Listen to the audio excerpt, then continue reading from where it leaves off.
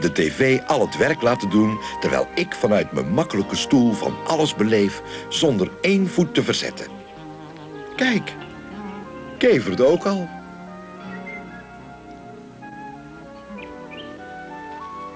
Goedenavond. Vanavond in Mier en Nu drie onderwerpen. Allereerst het voetbalvandalisme. In de strijd tegen het voetbalvandalisme heeft de bond besloten tijdens belangrijke wedstrijden geen honingwijn meer te verstrekken. Geen honingwijn? Wat dan?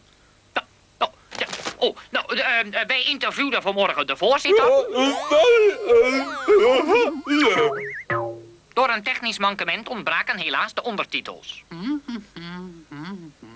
En dan nu het tweede onderwerp. Daarvoor schakelen wij over naar Kevert Jansma, onze man in het Ozo Olympisch Stadion. Ja, dames en heren, welkom in de Kruip. Hier zal over enkele seconden de strijd om de Boscup tussen Feyenoord en de favoriete FC Keverton losbranden. Beide clubs met sterke spitsen en bewegelijke vleugels. Daar fluit de scheidsrechter. Onmiddellijk neemt Wim van der Kerk door de bal mee en stuurt Lars Laafsen met een lop van internationale lure de 16 meter in. Knap laten liggen en overgenomen door Kruipspin. Mario bij, Kruipspin gaat door, passeert de derde man. Alleen Hansberg staat nog voor het net. Ja, ja, prachtig! Lars Laafsen heeft de doelman weer eerst op het verkeerde been gezet. 1-0 voor Keverton. 1-0 voor Keverton. Feyenoord moet nu aanvallen, maar niemand gelooft er weer in. Enkele FC Keverton-verdedigers zijn zelfs de catacombe al ingedoken. Maar nu wordt gezongen op het ritme van openknallende honingwijnflessen. 1-0 voor Keverton. Terug naar de studio.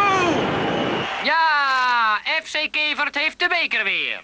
Olé, Kevert heeft de wereldcup. Kevert heeft de wereldcup. Feestje.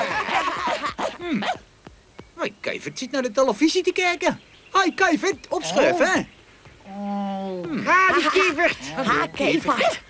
Hoi, te veel tv kijken is niet goed voor je ogen. En het kan bovendien verslavend werken. En dan nu ons derde onderwerp, de Ravenburg. Vlakbij het altijden onbewoonde kasteel de Ravenburg is een geheimzinnige kaart gevonden... met daarop volgens deskundigen de geheime ingang van de tot nu toe onbetreden burcht. Volgens overlevering zou zich daar een onmetelijk rijke schat bevinden... bewaakt door een zwarte raaf en volgens omwonenden zelfs door spoken. Spoken? Die bestaan toch helemaal niet? Jammer dat we niet weten waar het kasteel ligt. Dan namen we die schat zo mee. Oh, denk je toch in, als wij zo'n grote schat vinden, worden we allemaal miljonair. Miljonair? Mm, eens even kijken, een slingerend landwerkje. Mm, ja, twee bomen hier en daar nog twee. Mm, zie je? We hoeven alleen nog maar dat landwerkje en een paar bomen te vinden. Alleen nog maar een paar bomen. Ha, twee. Ja, we kunnen toch wel een bos met een paar bomen vinden, nietwaar? Nee, zo vind je het nooit. We moeten naar dat bos waar die enge monsters waren. Weet je nog? In de buurt van de gruwelgrotten. Ja, kijk eens, alles leuk en aardig. Maar mij kreeg je met geen boomstem terug in die gruwelgrutten. Ja, als alle archeologen bang geweest waren, was er geen piramide ontdekt. Spoken bestaan niet en mijn landkaart bestaat wel. Als jullie nou eindelijk eens een keertje op Ozo vertrouwden. Ja, op Ozo vertrouwen dat dat nou nog nooit eerder in mijn hoofd is opgekomen, hè? Omdat jouw hoofd waarschijnlijk vindt dat dat niet snar zit. Maar jongens, eerlijk is eerlijk. Ozo heeft gelijk. We gaan op zoek naar de schat en naar het geheimzinnige kasteel de Ravenburg. Wij zijn voor niets en niemand bang.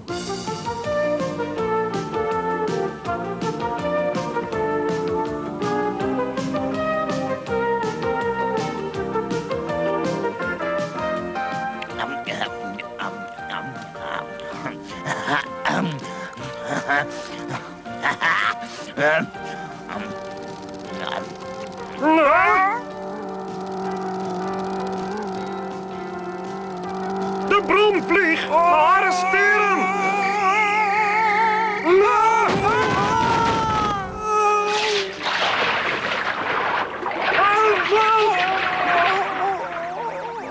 Wij vervolgen ons programma met Ron Brandkever en de moeder van het jaarshow. Ja, en wat voor moeder van het jaar, lieve mensen. Winnares is de moeder van zoveel kinderen dat ze zelf de tel wel eens kwijt is. Dames en heren, mevrouw Luis. Luis. Ah, dank je, Ron. Oh, ja. Ja! Dames en heren, dan schakelen we nu over naar Mier en Nu... voor een herhaling van de documentaire over het spookkasteel de Ravenburg. Spookkastelen die bestaan helemaal niet. Vlak bij het altijden onbewoonde kasteel de Ravenburg is een geheimzinnige kaart gevonden. Ik heb al een kaart. Huh? De schatkaart lijkt volgens deskundigen de weg te wijzen naar een schat van onmetelijke rijkdom. Volgens overlevering door een zwarte raaf bewaakt tegen Bij dieven. mij was die schat pas veilig geweest. Hallo, aangename kennismaking. Hoe maakt u het? Eh, nee. Wat een verrassing, hè? We hebben onszelf maar even binnengelaten. Oh, maar jij bent die boefhebbers met dat gemene maatje van je. Ik wil er niets mee te maken hebben. Hou op, stop, laat me rustig tv kijken. Wat bedoelen we nou juist? De televisie? Je hebt toch zo net dat programma gezien over dat kasteel met die verborgen schat? Eh, Ja, en de deur staat als het ware op een kiertje. We hoeven alleen maar naar binnen te gaan, de schat in te pikken en wegwezen. Hoe komt het toch dat ik steeds spierpijn heb als jullie het over wegwezen hebben? Laat ons toch met rust. Wij zijn heel tevreden, ik en mijn kleine tv'tje. Eh, ja, ja. en je high-fi set? En je videoapparaat. Of je moet zeggen, wat heb ik aan die centen? Ik heb genoeg aan één tv. Wacht eens, en de buit verdelen we gewoon in drieën dit keer, hè? ja, we delen alles door drieën. Maar wel met ons tweeën, hè? nou, huizenkruier, wat dacht je ervan? Gaan we schat graven of hou je het bij je borrelnootjes? Ik was toch al van plan wat meer te doen aan lichaamsbeweging... en er is niks leuker dan dat samen te gaan doen met een paar fijne vrienden. Hebben ze en Co, kom in de armen. Kom op, een beetje lichaamsbeweging kan geen kwaad. Fijne vriend ben jij, hoor. Ja, kom op, grashapper. Ja, gaan we Kom op, laten we gaan. Als we die schat hebben, ben je straks heel rijk. Zo rijk dat je eindelijk zelf paard kunt rijden. Yeeha!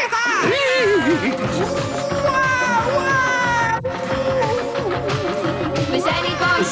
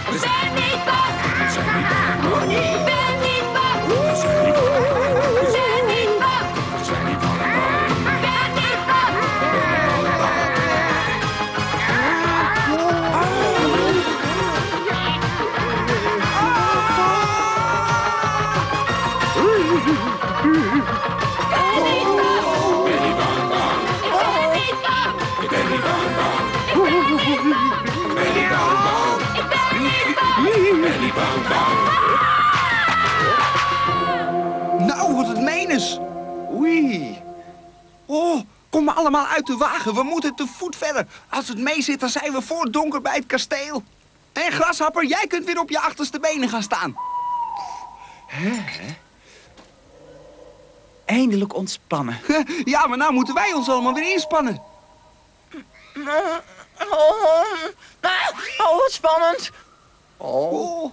Nou, ik vind maar één geluidje eng. En dat is als mijn maag gaat rommelen. Huh? Ja, eng of niet eng, één ding weten we zeker. Zo'n spookkasteel vind je niet tussen de madeliefjes. We gaan, mannen. Hè? Een stevige wandeling en alle zorgen vallen als vanzelf van je af.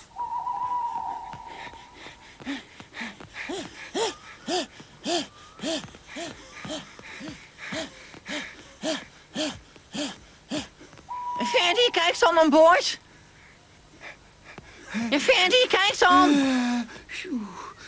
aan. Huh? Hè? Hè?